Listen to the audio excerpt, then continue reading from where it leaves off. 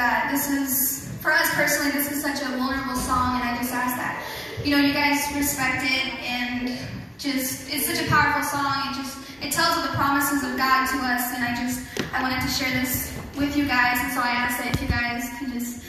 make it easier for us, and just like stand up and worship with us, because in the end, you can, that's one of the only ways you can receive from it, so that's just, Amen. thank you.